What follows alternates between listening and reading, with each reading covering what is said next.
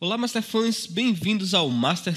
Eu sou o Henrique Barros, arquiteto instrutor dos cursos Master e nessa videoaula vamos dar continuidade ao nosso curso gratuito do V-Ray 3.0 para o SketchUp. E na aula de hoje nós vamos conhecer as ferramentas Spotlight e IS Light.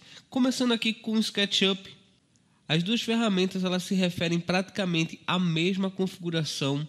A IS Light ela pode ser trabalhada também como Spot Embora na ES Lite você consiga trabalhar com diversos formatos de luzes, não necessariamente ela será sempre o spot, ok? Então, para começar, nós vamos selecionar a ferramenta. Você vai clicar na barra de luzes no V-Ray e selecionar Spotlight e em seguida aplicá-la ao modelo.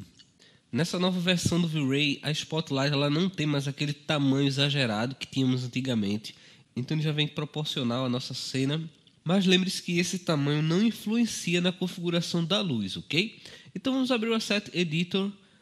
Agora já temos todas as configurações aqui diretamente, então vai ficar muito mais prático para trabalhar. Vamos clicar no render interativo para poder visualizar as configurações padrões do Spotlight.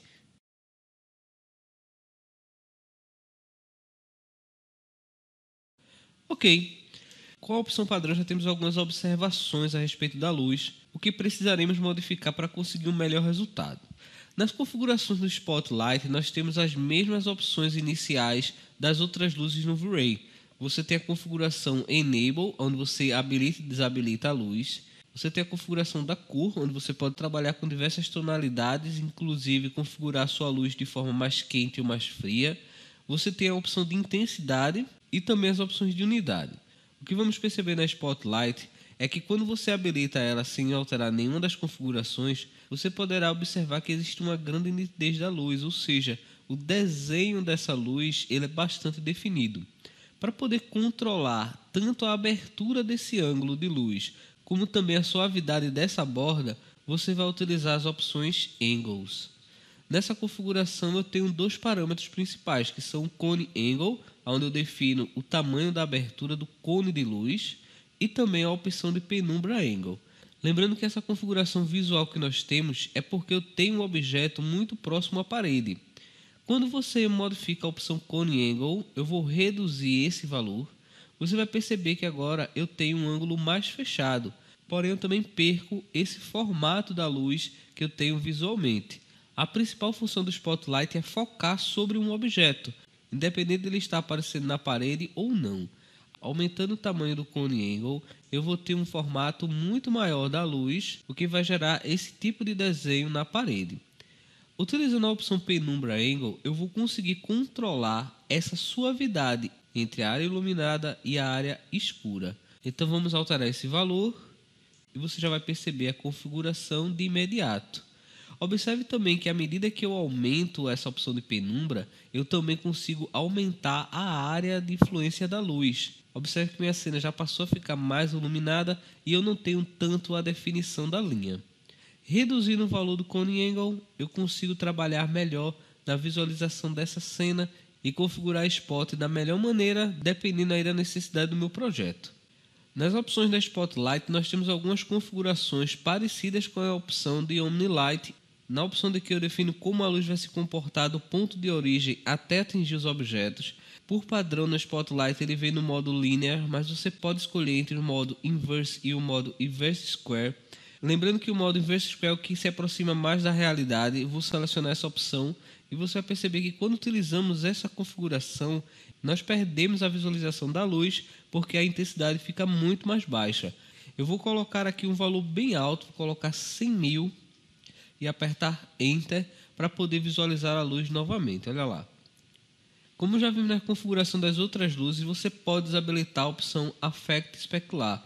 Quando essa configuração está habilitada, eu vejo o reflexo da luz sobre os objetos reflexivos. Então vou desabilitá-lo para não ter essa visualização dos objetos. Ok, para finalizar a Spotlight, vamos até a opção Shadow Radius, onde eu posso configurar a definição da sombra. Nessa opção, você aumentando o valor, você deixa a sombra mais suavizada. Eu vou colocar aqui, por exemplo, o valor 2. Vou clicar em Stop para finalizar essa visualização em tempo real. Vou voltar aqui nas minhas opções do render. vou desabilitar o modo interativo e desabilitar também o modo progressivo e clicar no render padrão do V-Ray para a gente ver o resultado. Vamos lá. Ok, após o render terminar, esse aqui é o resultado da luz spot. E aqui vimos as configurações gerais para você começar a trabalhar com essa iluminação. Eu vou fechar novamente a visualização, vamos voltar nas configurações luzes e agora eu vou deletar Spotlight na minha cena e agora vamos adicionar a luz a Yes Light. Nessa nova versão do V-Ray, ao clicar na Yes Light, ele já pede para você abrir um arquivo. Eu deixei disponível no nosso grupo V-Ray Labs um arquivo com cerca de 80 mil luzes AIS. Nesse arquivo você vai encontrar diversos tipos de luzes. Você pode fazer o download gratuitamente e começar a utilizar. Então você vai ter uma quantidade muito grande de opções para poder definir as luzes no seu projeto. Selecionando aqui na minha pasta, eu consigo abrir a visualização através do programa IS Viewer.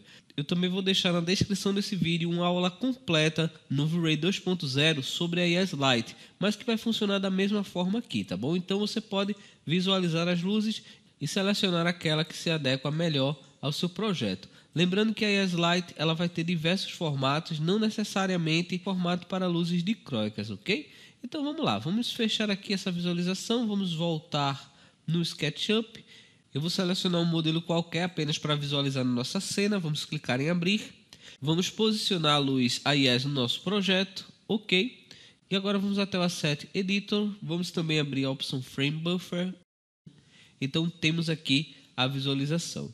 Bom, a nossa luz aí já está selecionada na cena. Nós temos as configurações principais aqui da luz. O que vai mudar nessa configuração é que agora você tem a opção de arquivo AIS e a opção Override Intensity. Então vou renderizar a cena para ter uma imagem inicial. Ok, eu renderizei essa luz AIS com o modo padrão dele aqui sem alterar absolutamente nada. A luz está aparecendo aqui, talvez você não consiga ver aí no seu monitor, mas eu tenho aqui uma pequena visualização da luz, mas eu não tenho uma intensidade suficiente para essa imagem. Teoricamente, esses arquivos AIS eles foram criados pelo fabricante para poder mostrar qual é a real intensidade da luz e todas as configurações. Mas esse tipo de configuração não se aplica ao V-Ray, porque quando você configura a sua câmera, você vai configurar ela de acordo com a sua cena e essa configuração pode variar muito. Então o que a gente precisa fazer é habilitar a opção Override Intensity para poder alterar a intensidade do arquivo AES. Observe que na opção intensidade ele vai trabalhar com a opção lumens, mas a grande maioria dos arquivos AES eles são criados na unidade chamada candelas. Então vou aumentar aqui simplesmente para o valor 1 e vou renderizar novamente a cena. Observe o que, é que vai acontecer. Ok, ao terminar o render, o que podemos perceber é que já não temos mais a configuração da luz AIS na cena, ela simplesmente sumiu.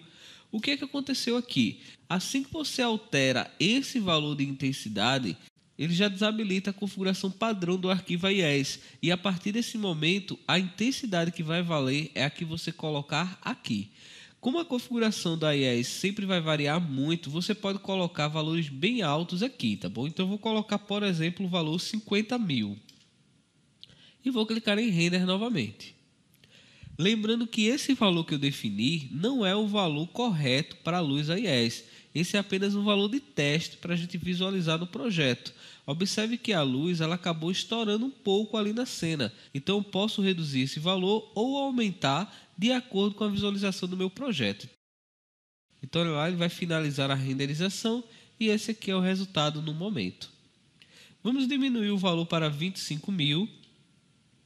Acredito que esse valor seja mais apropriado nessa minha visualização. Agora vamos abrir as opções da ES Light. Diferente das outras luzes que trabalhamos, nós não temos o parâmetro de key na configuração ESLight, uma vez que o arquivo já vem definido. Então a única opção que você precisa desabilitar é a opção Affect Specular para evitar que a luz reflita sobre o objeto. A opção Área Especular ela define como é que a luz AIES vai se apresentar aqui no projeto. Se você desmarcar essa configuração, ele vai mostrar um ponto iluminado como se fosse a origem da luz. Eu vou desmarcar essa configuração apenas para efeito didático mas geralmente eu não deixo ela desabilitada. Vamos clicar em render para ver o resultado. Vamos lá.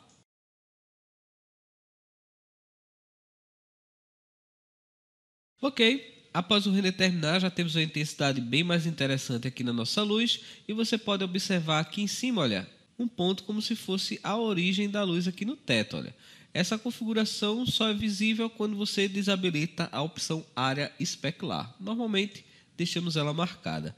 Ok, então é isso aí. Nós vimos as configurações principais da Spotlight e da Yes Light nesse vídeo. Se você quiser saber um pouco mais sobre as configurações da Yes Light, eu vou deixar o link na descrição desse vídeo. Também acesse o grupo Ray Labs para poder fazer o download do arquivo IES. Inscreva-se no canal para poder receber sempre os nossos vídeos em primeira mão. Também ative as notificações no canal para não perder nenhum vídeo. Também participe do nosso Hangout ao vivo dia 15 de junho. O link está na descrição desse vídeo. Muito obrigado por ter assistido mais uma vez. Um forte abraço e valeu!